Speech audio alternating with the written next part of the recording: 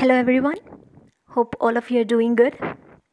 So, uh, from this session onwards, we are starting our module 6 for the subject EC308 Embedded Systems. In our previous module, uh, we were dealing with various inter-process communications and various elements of an operating system or a program such as the process, the thread, task, interrupt service routines, um, signal handlers, um, input output files, various device driving functions, and so on. We also discussed about inter-process communication elements such as signals, semaphore, um, message queue, mailboxes, pipes, sockets, and so on. We uh, yeah, even the remote procedure called RPCs. So, having uh, known all these things, it's time for us to understand a very important concept, a very important part of embedded systems the operating system. The operating system, their uh, working, their structure, their performance, and different types of operating system. So, this module, the sixth module, shall deal with the real time operating system. So, in this module, as per your syllabus, we shall cover the services, goals, structures of real time operating system, and uh, the kernel elements or the kernel services the process management, memory management, device management, file system organization, input output device organization and so on. So in fact this uh, this thing the kernel section we had a very brief overview of this kernel section in our previous module. We shall see them uh, these topics in detail in this unit.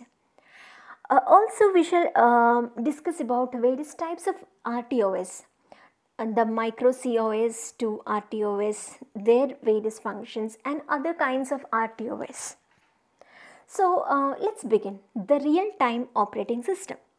So uh, first I shall divide this term real time and I'm sorry real time and operating system. So we are already familiar with what is an operating system. Simply operating system is an interface between the user of a computer system and the computer hardware. Let's see what does that mean. Well, um, we'll take this example. It's uh, something I hope that you will like. Consider yourself uh, entering a restaurant. Since we have been in lockdown for many days, this example will at least bring some amount of pleasure, I hope. Okay, suppose uh, you guys are entering a restaurant. So what happens is I being a customer sits in my table and I'm ready to um, have some good food. So what do I do? I wait for my waiter and I'll give the order for my food to the waiter. Now this waiter travels from me to uh, maybe into their work area or their canteen or cafeteria somewhere to the work area. He gives the order for my food. So in this cafeteria, we have the tomatoes, the onions, salt, turmeric. We have all the components in different different spaces. So based on what food I have I have demanded, they shall prepare the food and give to me through the waiter. Right? So what has happened here? This is what happens in operating system too. The customer is the user of a computer system and your foodstuffs in the work area of the or the cafeteria is your computer hardware. So in fact your customer uh, you want to access the food items being prepared in the cafeteria. You cannot directly walk into the cafeteria, take the food and come out that is a restricted zone right? In the restaurants you have seen uh, entry restricted permission only for uh, employees something like that. So that area the work area is a restricted area where your customer or the user cannot enter. So you need some kind of an interface between the between the customer and the work area. And who has done that job? The waiter. The waiter has collected the information from the customer to the uh, work area and he has delivered your product or your foodstuff. Here, the waiter act as the operating system who has interconnected, who act as an interface between the customer and the food area. That's what an operating system does. An operating system will act as the interface between the customer, who is the user for the system, and the computer hardware, which is where our food has been paid. So, an operating system is simply the interface between the user of a computer system and the computer hardware. So, again, uh, I hope the concept about operating system is clear. Fine. So, keep that aside. That is a very basic concept that we need uh, throughout this module. So, uh, I hope you have got an idea about what is an operating system. Keep that aside. So, uh, based on what kind of an application area we have this operating system on, we have different kinds of operating system. And one such operating system is a real-time operating system. So, real-time operating system, I already have an idea about what is an operating system. Now, when does an operating system become real-time? When your operating system is designed to respond in a time controlled manner. It is a real time operating system. When your operating system is designed to respond in a time controlled or event controlled manner, you can call that kind of an operating system as a real time operating system. Uh, I would um, say, yeah, suppose uh, you, I hope you have uh, familiar with the Domino's delivery boys, right?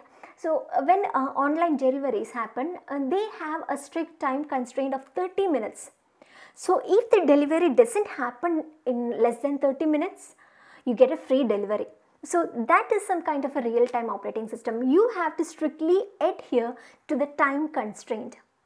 If you do not uh, uh, fall within the time constraint, something bad may happen that is the company doesn't get the amount for the food delivered if the food is not delivered within a defined time so that's what makes an operating system different from a real time operating system. An operating system which has strict time con uh, constraints is called a real time operating system. So in real time operating system the processing uh, and things must be done within a defined time. Or else that uh, system may fail or this, that may that can cause a major problem yeah right. So the difference between operating system and real time operating system is clear? Okay.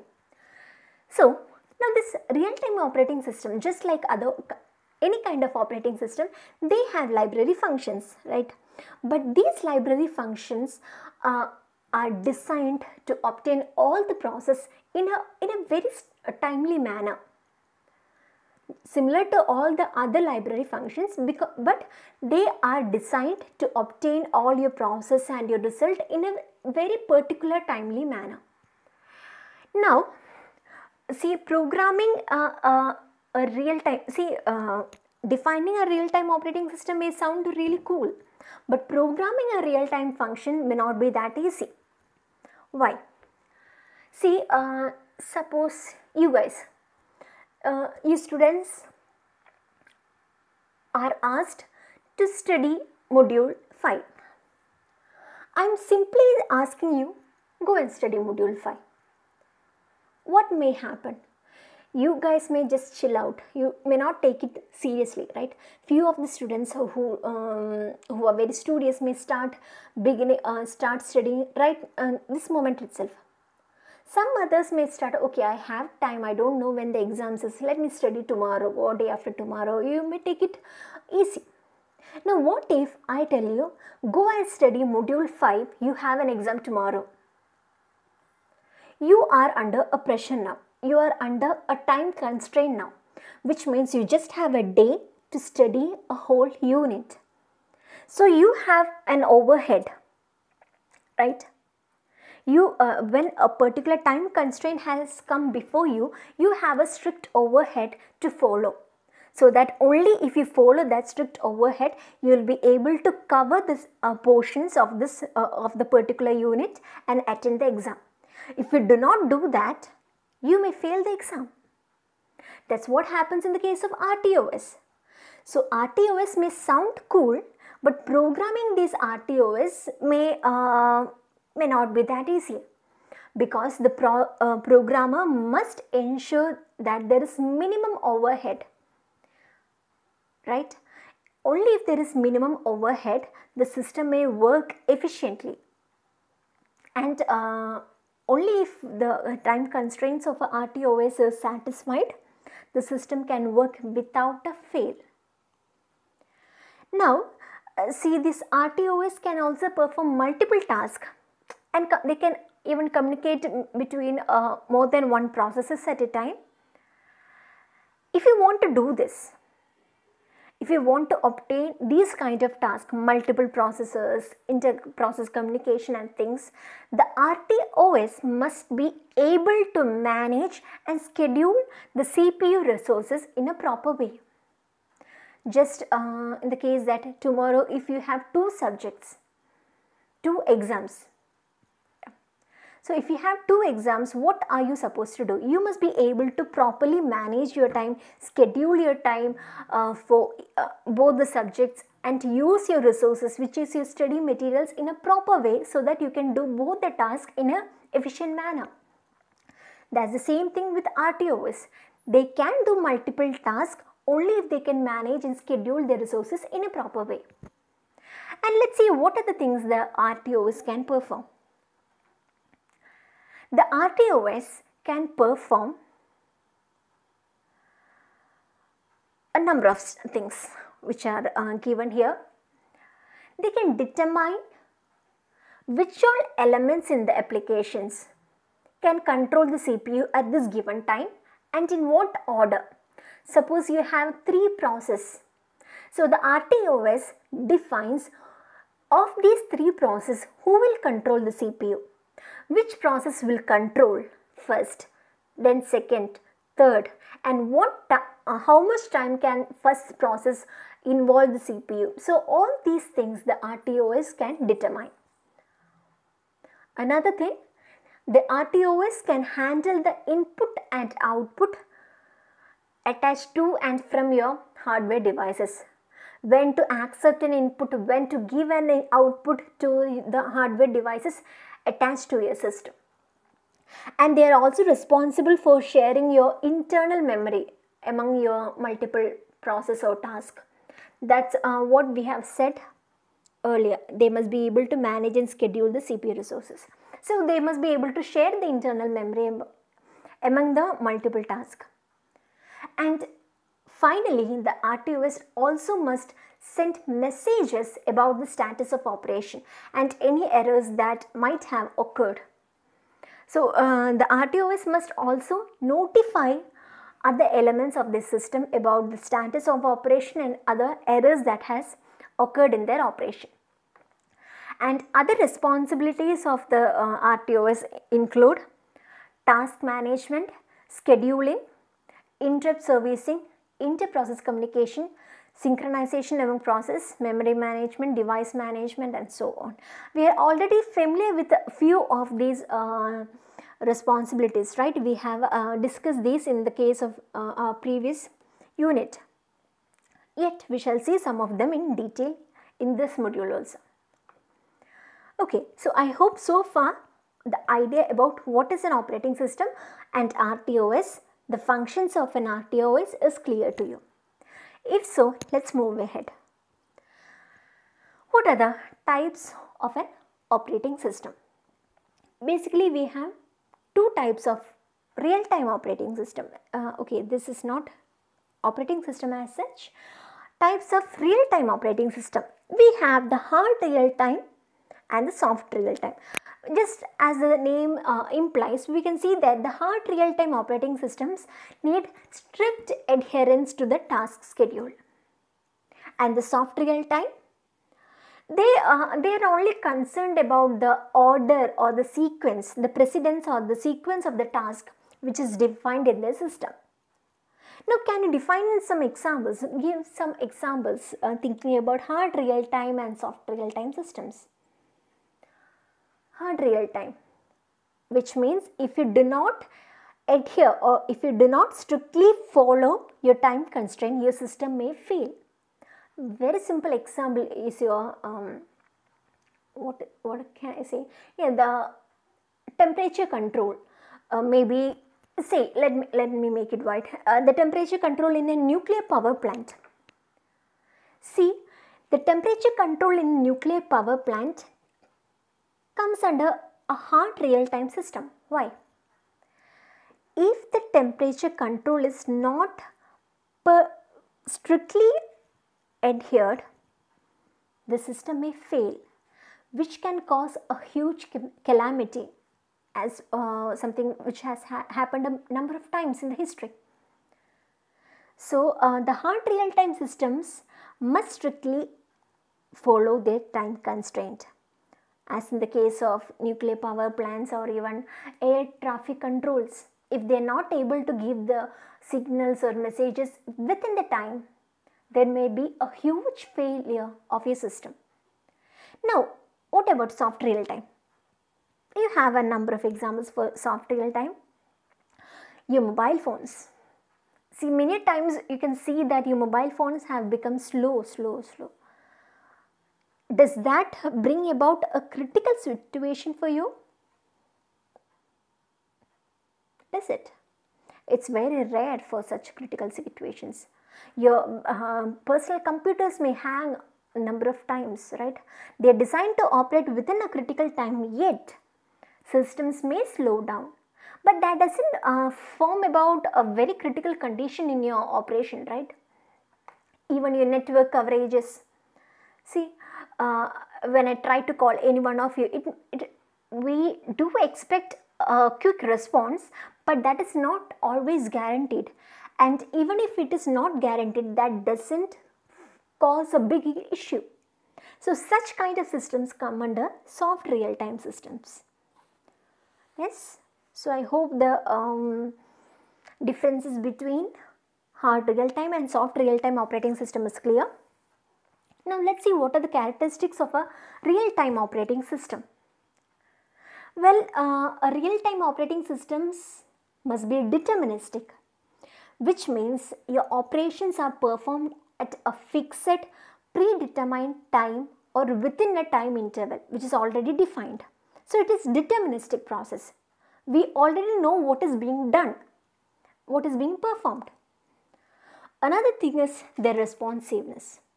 So uh, when I say responsiveness, uh, it means suppose an interrupt occurs, then how long will your operating system take to service the interrupt uh, beginning from their execution? How, how um, fast your operating system respond to an interrupt or any other services. Right, that's the second thing. And third one, reliability.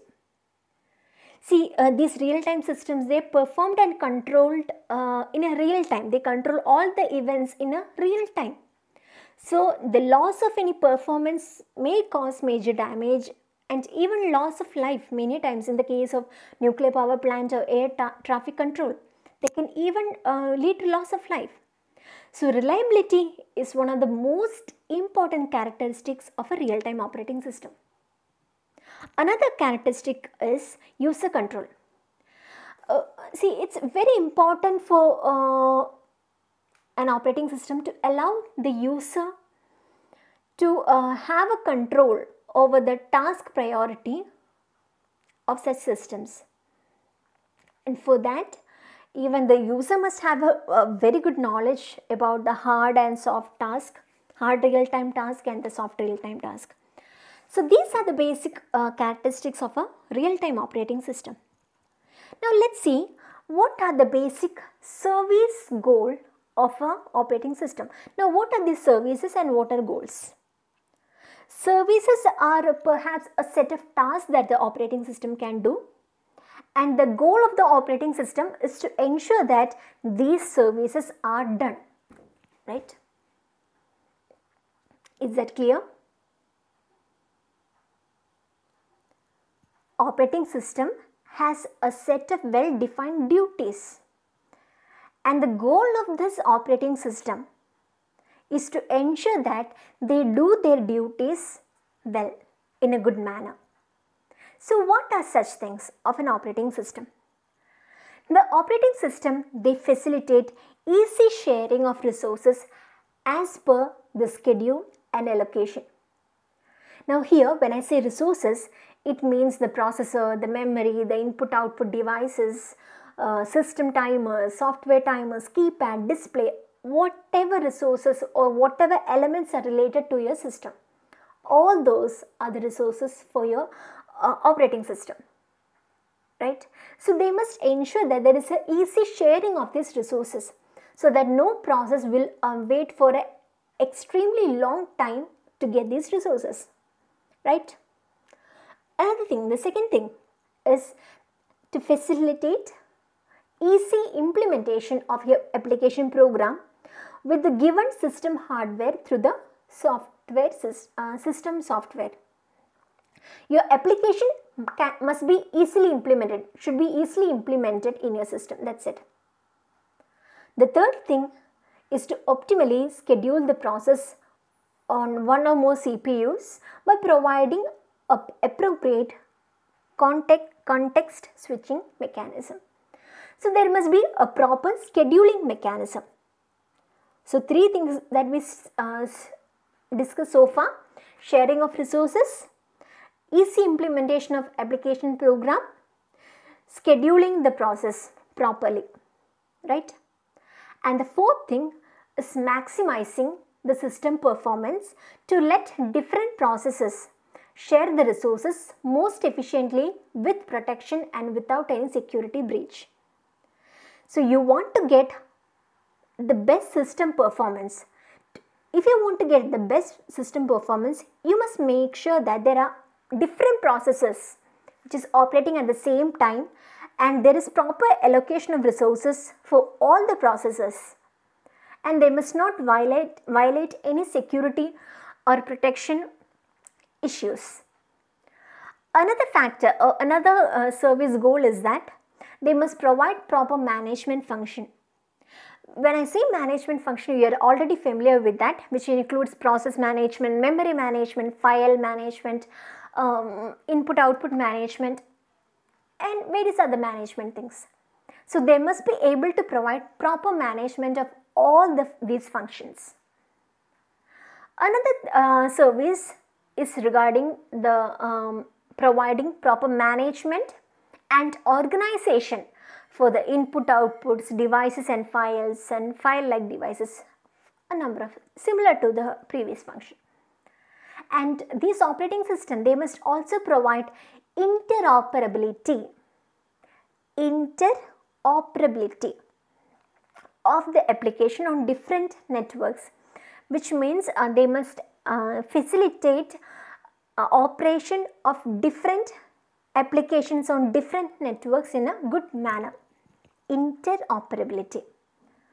Another uh, service is to provide a set of interfaces that integrates various devices and applications through standard and open systems. You can remember it by saying provide a set of common interfaces. So what is the duty of interfaces? They must integrate various devices to um, through standard and open systems. That's it. And another factor is they must provide easy interfacing and management function for network protocols and networks. And finally, this operating system service will include providing portability of the application on different hardware configurations. Um, your application developed on one particular hardware must be able to be used on another hardware configuration which means they must be portable that's it so these are the various service goals of a operating system now let's see what are the different types of um, mode structure in a operating system. So we have the user mode and the supervisory mode. In the user mode, uh, the users are permitted to run and only use a a certain portions or certain functions and in instructions in your operating system. Suppose you have 100 instructions in your operating system. The user process may be permitted to access only say 10 instructions in the operating system. And the use of these operating system functions, OS functions in the user mode must be done either by sending a message to the process associated with your OS kernel space or by system call. And uh, here the use of the hardware resources including the memory is not permitted without the OS making a system call. So which means the user cannot easily access all these functions. If the user want to access uh, any of their internal memory, the user must send a message to the operating system kernel. And only through this kernel, they can use the internal memory. The user sends a message to the kernel. The kernel must grant permission for the internal memory only then the user can control or access the internal memory. This is not an easy process. And because of which this uh, your user mode functions can be slow isn't it? They need time to check on your uh, permission from the kernel. Then the kernel must grant the permission. So this involves a number of steps and hence their execution can be slow. And uh, see this specific area where the user's function call is not permitted to read or write is called the kernel space. So the kernel space is a protected area, a protected section of memory where the users cannot directly access. So that's about the user mode. It's a, it's a kind of a restricted mode. Then you have the supervisory mode. This is called the kernel mode which means uh, you have full control, right? So here your operating system runs in protected mode and the functions and instructions in protected mode. They can uh, they can access the protected area memory. And the kernel space functions and process they can they uh, in supervisory mode they have a fast execution. And even here only a system call can permit the read and write into your protected area or the kernel space. Right? So there are two modes in operating system, the user and the supervisory. User is kind of a restricted, supervisory as the name indicates they have better control and they are faster in execution. Now let's see what is the structure of an operating system, the system structure of a operating system. Which means how is an operating system control the, uh, the user application and the hardware. We know that operating system is the interface between the user application and the hardware. So what are the other elements that comes in this? First element near the user side is your application software. This application software executes uh, the applications which run on your given system hardware using their interfaces and system software. So the application software is the layer which is closest to the user, right? Below the application software comes the interface, application program interface. As the name indicates, they provide the interface between the application software and the system software. So uh, they are able to run on the processor using um, whatever given system software they have. Then you have the system software. See this system software is different from uh, the system software in the operating system. Okay.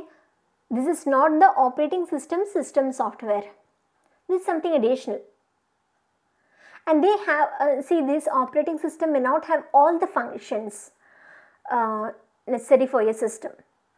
And such functions which is uh, not present in your operating system such as uh, interconnection for networks, device drivers, multimedia, Such things are given in this system software section, right?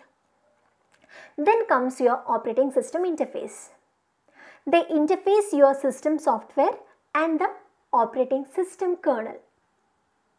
So definitely below the OS interface comes your OS, the operating system. Here the kernel supervisory mode services, file management, other functions such as the user mode processing services, everything happens in this OS section, the operating system section. Then you have the hardware operating system interface, which means it interfaces the uh, above lying operating system to the below lying hardwares. The hardware may be processors, memories, ports, other devices within the system. And finally, you have the hardware which contains all these devices.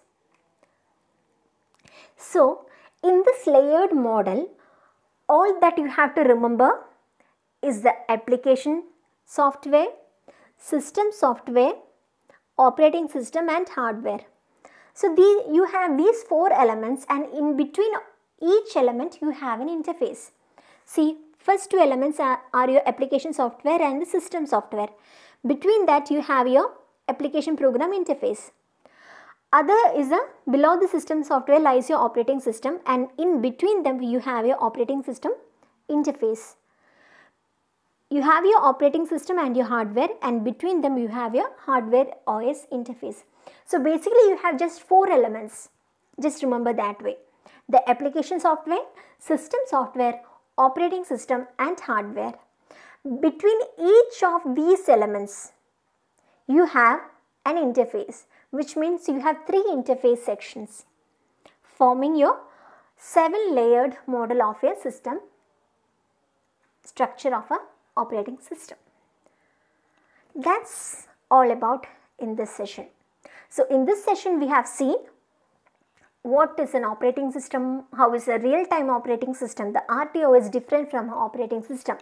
The different types of uh, RTOS, the characteristics of an RTOS, uh, the service goals of an operating system, um, the various modes, the user supervisory mode in an operating system as well as the structure of an operating system. Please go through all these sessions. This is very important uh, to understand further please make sure you uh, have a good idea about all these things. Thank you.